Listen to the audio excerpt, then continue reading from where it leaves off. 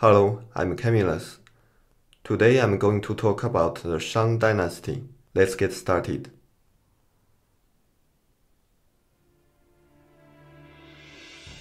In Xia dynasty, since the 14th king Kongjia, more and more vassal state rebels.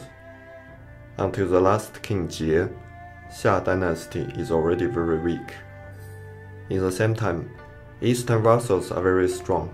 Finally, the eastern vassal Shang defeats Xia dynasty. The ancestor of Shang is named Xie.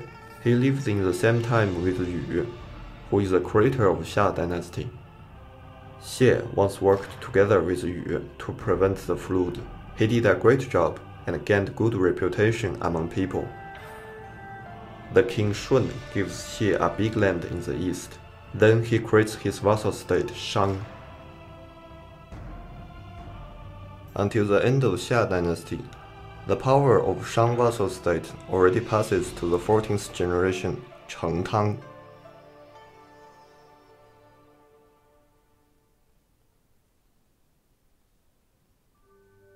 During these 14th generations, its capital city changes eight times. Xie creates the vassal state in today's Teng, Shandong province. His son Zhao Ming moves to Dishi. This place is unknown. His grandson Xiang Tu moves to Shangqiu, Henan province. The 14th leader Cheng Tang grows up in Hua, Henan province. He moves the capital several times in his life.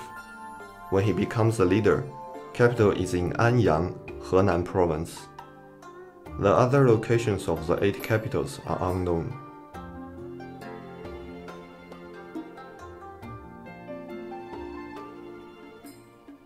Cheng Tang has organized his army to fight against Xia dynasty. He first attacks the vassal Wei and Gu, then the vassal Kun Wu, and in the end, Jie, the king of Xia dynasty. Vassal Gu is located in today's Fan, Henan province. Vassal Kun Wu is located in today's Xuchang, Henan province.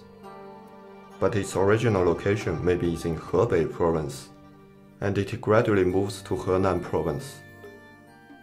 In the end of this war, Cheng Tang has defeated Jie in Yousong, which is today's Yongji, Shanxi province. Jie runs away to Mingtiao and dies on the halfway. Mingtiao is an unknown place, but we know that Jie runs towards the southeast. Cheng Tang's military base is in the east, but Jie doesn't run to the west, which is much safer. Probably it's because the western side is still wildland. There is no civilization yet.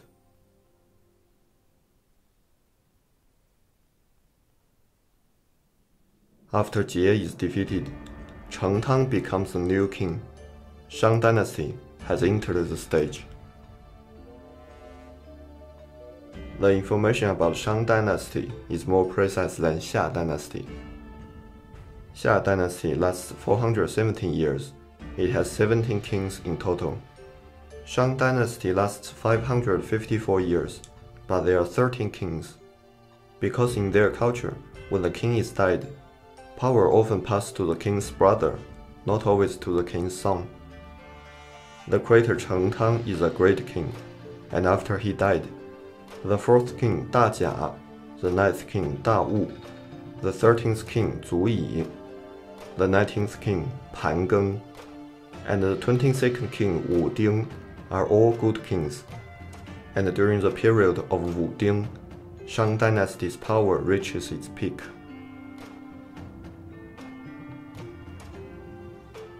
Mulan is well known around the world because of the Disney cartoon.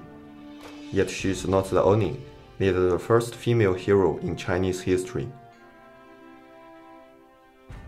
The earliest recorded female military leader and politician is Fu Zi. She lives 1000 years before Mulan. Fu Zi is the wife of Wu Ding, the 22nd king of Shang dynasty. She is one of the greatest military general, has defeated many enemies around the country. she once leads 13,000 soldiers to attack the western Qiang. This is the biggest recorded army at that time, which is more than half of the soldiers of Shang dynasty.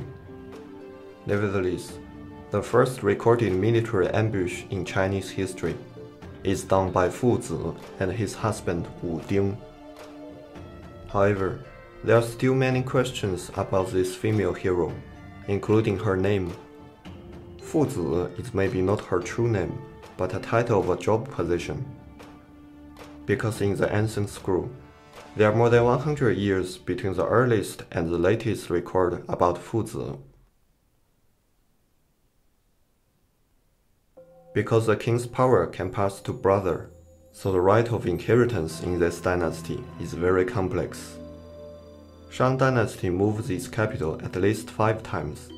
Someone says it's in order to escape from the inundation, but most of the historians believe that it's because the royal household fight each other fiercely, and the winner often set up his capital in a new city.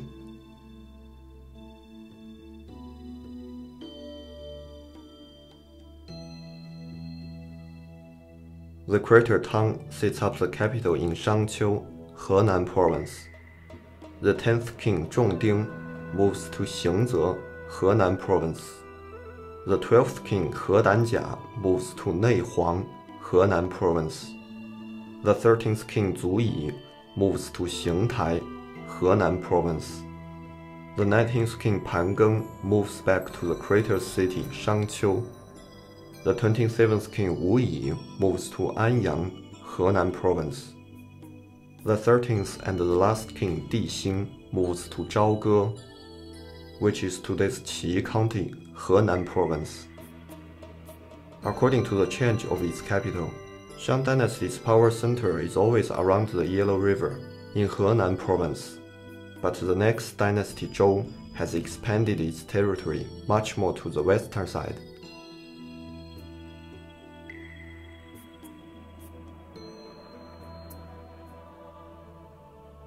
Since Zhou dynasty, Chinese history starts to have a reliable and continuous recordation. In the next video, I will bring to you more profound and interesting stories. Thanks for watching. I'm Camillus. I have a message to the world. See you next time.